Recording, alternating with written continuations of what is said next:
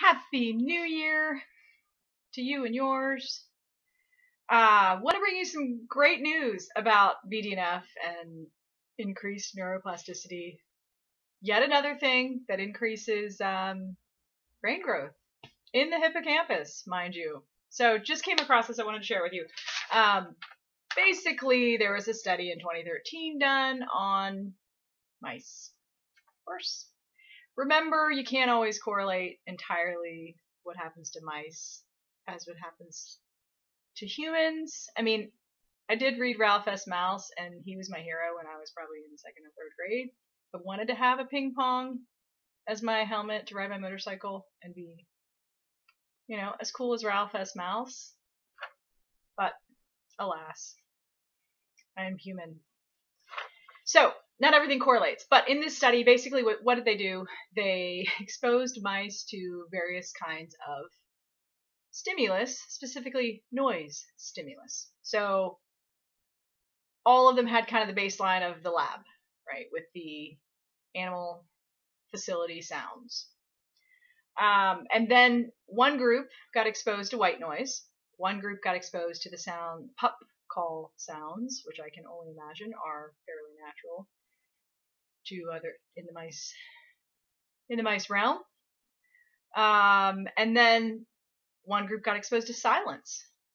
A fourth group got exposed to piano music, specifically Mozart, which I'm imagining is not so mice-like. Anyways, um, what they found was that all forms of stimulation, with the exception of the white noise, increased precursor cell proliferation in the hippocampus which the cells got then got flagged so that as they produced further down the line we could figure out what which ones continue to increase the proliferation and continue to proliferate.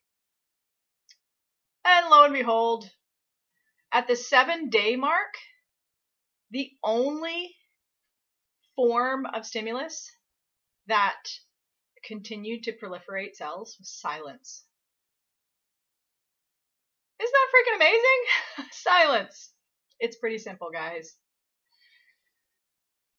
Here we have all these natural things we can do, and one of them is silence. And where can you experience silence great best? Probably in nature. I'm going to tell you a quick story. Uh, over the holiday, I didn't have my kids, so what does one do when one is approaching an awkward holiday sans kids? Well, you do something totally different. so I decided to hike down to the bottom of the Grand Canyon. And there's actually a place, the only place you can stay below the rim is called Phantom Ranch. Somehow I had the good fortune of booking such a place. Um, so on Christmas Eve day, I decided to set out down the trail. It's seven miles down if you go down South Kaibab, which is the name of the trail the south rim. And then typically people come up Bright Angel, which is 11 miles. So it's nice if you can have an overnight, you know, get a hot meal, head back up the trail. I got two nights, so then it was awesome. So, uh, my experience with silence. I'm starting off on the trail on the 24th, so I'm I'm guessing that's not not the most happening day at the Grand Canyon. Though surprisingly, there were a lot of people there. Um, but a storm is additionally blowing in. They're supposed to get six to eight inches of snow. Um, and I'm starting down the trail a little late because I, you know, I've done it before. I'm a little familiar. I'm thinking, ah, I'm fine. Right? Um, note to self. Kaibab, in the event that you experience high winds, specifically high, huge gusts of winds, while hiking across a spine in the Grand Canyon, it can be a little nerve wracking. And the silence in this case was the absence of all, there were hardly any people. So Jenn's hiking alone on a spine, hoping not to fall into the Grand Canyon on Christmas Eve day. It was a great experience. I live to tell about it. Um, I did not get blown off, in case you're wondering. The end of the story.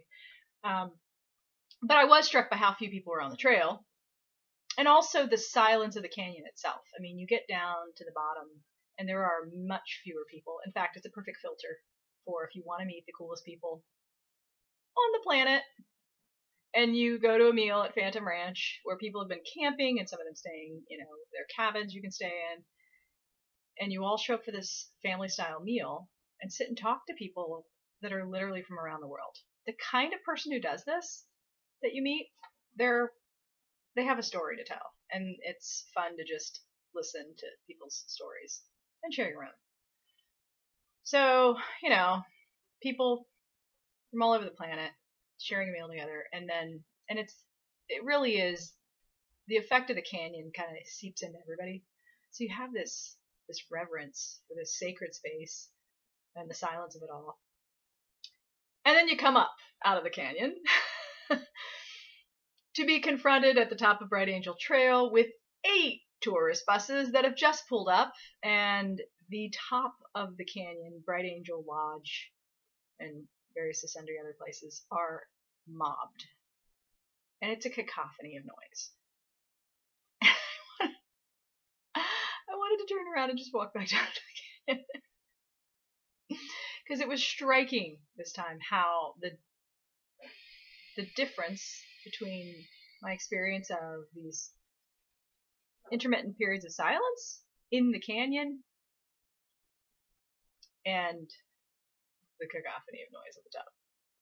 With people kind of back into their their regular routine, you know? The the canyon takes you out of your own routine. You get to be in a place that is quite remote. I mean, but they do have they've got a good setup there. You can get a hot meal. You can have a bunk. Um, you don't have to pack in a sleeping bag. And you know, so it's this it's a nice experience that you can have down there, but yet scamper around and experience the canyon. And um, and it this is a the site of pilgrimage for many Native American tribes. Um, you know, I'm pretty, I think the Navajo actually Phantom Ranch, the location of Phantom Ranch itself is a sacred site. Um, one of the most sacred in the canyon, according to the Navajo. And then there are various, you know, Havasupai have Mooney Falls, and there there are all these different places in the canyon that are that are amazing. And it's the silence that speaks to you. And as it turns out with this research, it's the silence that heals you and increases the proliferation of your cells. Your BDNF, likely, that's probably the mechanism. It didn't say that directly in the study, but I'm pretty sure that's what's going on, um, based on what we know. And um, how cool is that? So now you have an excuse to take your own trip eh, down to the bottom of the Grand Canyon and experience some silence. Or go on silent retreat. You know, there are plenty of different organizations that will do such a thing. You can do your own. You know, just take a break from the noise that is the culture that we live in. Uh, it can be healing in many ways. Thanks for tuning in. Audio.